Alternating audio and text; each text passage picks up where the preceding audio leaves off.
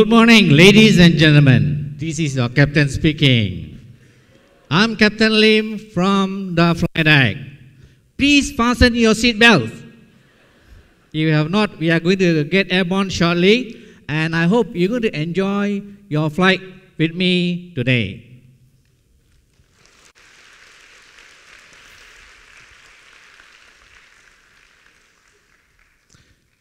Have you heard of the woman was trying to open the um, cockpit door and the cabin door in flight because she wanted to smoke a cigarette?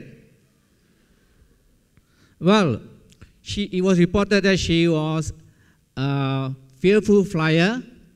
She has just taken alcohol and she has just taken a sleeping tablet. Prior to her flight from Hong Kong to Brisbane, she was observed to be trying to open the uh, door, trying to open the uh, cockpit door, uh, the cabin door in flight, but she was stopped by the flight attendant. When she arrived at uh, Brisbane, she was arrested by the police. Ladies and gentlemen, you don't have to worry in case any crazy woman or a crazy guy decide to open the uh, cockpit, uh, the cabin door um, in flight because it is not possible. This is because the door is designed in such a way that you cannot push it out. Furthermore, the um, pressure in the cabin gets higher and higher as you climb up, and the pressure will compress against the door. No one can ever open the door in flight except when the aircraft lands or depressurized, whereby you see the flight attendant, when the aircraft lands, she will have to unlock the door first, pull it in, and then push it out. So, even though you cannot open the door in flight, please do not try it. or you'll be arrested by the police on arrival at your destination.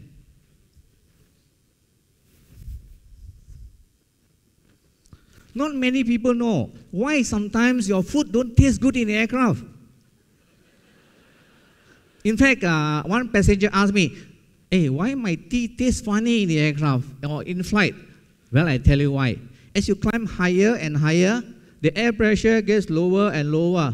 Instead of your water boiling at 100 degrees, water will boil at 90 degrees. And that interferes with your brewing of your tea. That's why your tea tastes funny. And as a matter of interest, I tell you, if you are in uh, on top of Mount Everest, you cannot make a hard-boiled egg. You know why? The temperature at top of Mount Everest is only 69 degrees Celsius. To make a hard-boiled egg, hard-boiled egg, you require up to a te uh, temperature of 85. So sorry, you cannot have hard-boiled egg if you are in uh, top of Mount Everest. Not only that, as the aircraft climbs higher and higher, your sense of smell and the sense of taste is also affected. No wonder sometimes people complain food in aircraft don't taste very good because your senses are affected. My daughter, when she comes back from London, she always complains she has difficulty adjusting to the jet lag. I have to explain to her any traveler that moves through many time zones in a, in a day rapidly will be affected by the jet lag. Why? Because your natural body clock cannot get synchronized with your circadian rhythm. Okay? Circadian rhythm. Circadian rhythm is basically a 24 hour clock in the body that determines when you sleep, when you wake up, and it's affected by sunlight and temperature. So when your circadian rhythm is out, your system go haywire. It affects your sleeping pattern, and uh, no wonder you, a, a, person with jet lag will feel drowsy, irritate, irritable, tired, lethargic, and uh, partially disorientated. You cannot entirely prevent jet lag, but you can manage it by arranging a flight such that uh, you have enough rest before you fly. Choose a day flight if possible, and um, avoid taking alcohol because that will aggravate your jet lag. Drink plenty of water. Passengers sometimes ask me, how safe is uh, how safe is flying? I often uh, convince them flying is safe. If you look at this uh, graph here, during the last 37 years, flying is becoming safer and safer. And uh, in terms of passenger distance calculation, flying is the safest form of transportation. It is six times safer than driving. I know some of you may disagree with what I have said and probably ask, so how safe is safe? Now let me explain it in this way. The safest airline in the world is an airline that has lots of aircraft, but aircraft doesn't take off. You stay on the ground, and according to uh, Wilbur Wright, the inventor of the first aeroplane, he says, if you're looking for perfect safety, you might as well sit on the ground and watch the bird flies. And uh, Captain Scully, uh, Captain Sully, he was the hero of um, the Hudson River crash, where he saved 155 lives. He says, we must not define safety as an absence of accident.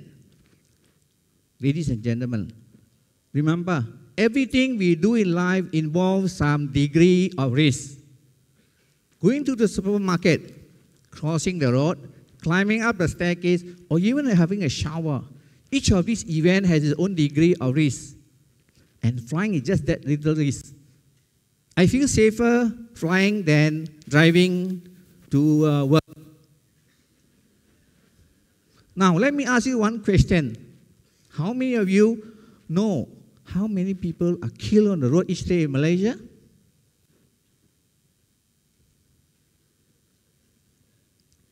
Anybody got answer? According to World Health Organization, 20 people are killed on the road each day in Malaysia, 20. And that comes out around 7,500 people are killed on the road each year. Sometimes when you are flying in a cruise, you hear announcement from the captain. Ladies and gentlemen, this is your captain speaking. We'll be entering some severe turbulence. Please return to your seat and fasten your seat belt. So, what is air turbulence? Are turbulence dangerous? Let me explain to you turbulence. Turbulence is just like you driving along a smooth road in a car, and then you get diverted onto a small lane with potholes and bumps. The car starts to shake. It's not dangerous as long as your seatbelt is fastened and um, car slows down. Okay? And sometimes people loosely describe turbulence as though you are on a, a roller coaster ride. In turbulence, if you look out at their windscreen, you can see on the window, you can see the wings flex a little. The engine shakes a bit.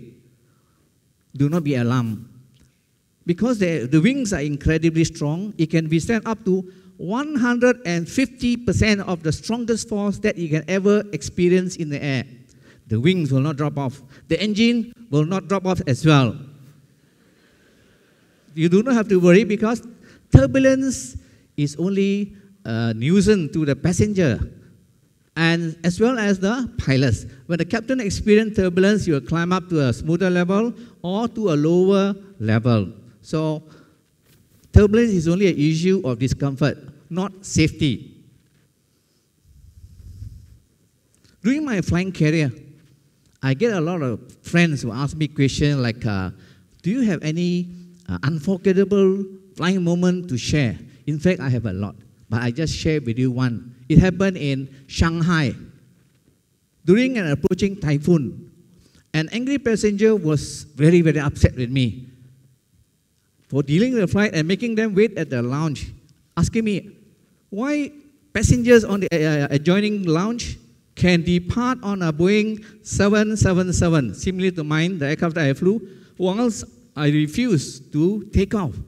I have to explain to them. Uh, an approaching typhoon comes with very strong wind. Not only that, on that day it was a very strong crosswind.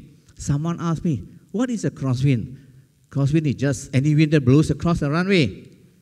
And as you can see on the picture, you see, a strong crosswind can easily blow the aircraft off the runway during takeoff and landing.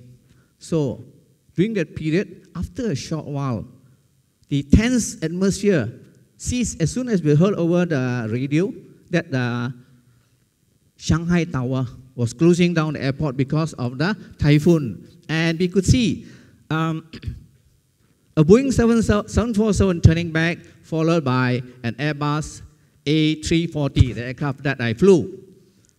At that moment, I felt a sense of vindication for having stood firm in not giving in to the demand of the angry passenger. The safety of my passenger was of utmost importance, and I wasn't going to take any chances against it because I remember many years back, uh, my doctor friend he told me, "Hey, Captain, your responsibility is higher than me as a doctor." He told me person, personally that when I make a mistake or when a doctor make a mistake, only one life affected. If I make a mistake, a lot of people will be affected. And at that moment, I felt I was duty bound to fly my passengers professionally, morally to its destination as safe as I could. And in all honesty, I would rather be known as a live chicken than a dead hero. And during my flying career, there are lots of funny questions. Uh, some frequent questions, such as why cabin lights are dim during takeoff and landing. Simple. It's for safety reason. Enable your eyes to be fully adapted to the night life, that night light. In the event of an emergency evacuation, you jump onto the slides rather than onto a dark hole. And of course, there are other questions such as um, such as um, why, like uh, what happened during a lightning strike. Nothing, nothing really serious will happen. I know some of you are afraid of lightning strike, but nothing will happen. The engine will not fail. Okay, the electrical charges will just flow smoothly, harmlessly, exit to the static discharges. And then there are questions. People ask, hey, what are Mayday calls. Mayday calls are basically uh, spoken three times in a row when a captain or aircraft in an emergency. Example, Mayday, Mayday, Mayday. Speedbird 123, I have an engine on fire. Request priority landing. So when the air traffic controller hears this, he will clear all the aircraft off the airways and the airfield and allow you to land first. And Reason why they choose this word Mayday is because it cannot be mistaken by any other similar sounding word. And uh, it was coined by a radio officer many years back because Mayday in French means please help me. Uh, all the stories I've just told you are a collection from uh, my website, which I have developed 15 years ago for the benefit of passenger. One asked me, how come a, village boy, a kampong boy like me, was able to uh, become a pilot and went on to fly the Boeing 777, the Airbus A330, and Airbus 340? Indeed, I was a kampong boy. Um, from poor family, I stayed at that house. My father was uh, could not read or write. He was a carpenter. And when I was young, um, my dream was very simple. I only wanted to be a teacher, uh, not a pilot. But the opportunity came along when I left school. The Royal Malaysian Air Force was uh, looking for pilots. I applied. I was successful. They uh, sent me to the uh, Royal Military College and also England for my flying training. Again, someone asked, how come a poor uh, village boy was able to afford the expensive flying training? Simple. If you join the Air Force, if they select you, training was provided to me for free. Before I went to the military college, I was required to sign a consent letter from my parents that uh, they do not object me to become a pilot. But do you know in the Cantonese there is a saying, good son should not join the army. 好仔唔當兵. And I wasn't that good son because if I were to tell them the truth, I would not be a pilot today. And being a pilot today is no longer as easy as before because of the limited vacancies uh, of, around. However, if you become a pilot, anyone who become a pilot, you must also consider some issues such as will uh, becoming a pilot be a stressful job? Will you be around during your son's graduation? Will a wife uh, worry that you'll be away, night stopping overseas with lots of pretty girls? Of course, there are some advantage being a pilot. You get to travel a lot of places, you see the world, and um, you get to know many other people, and of course, the income is quite generous.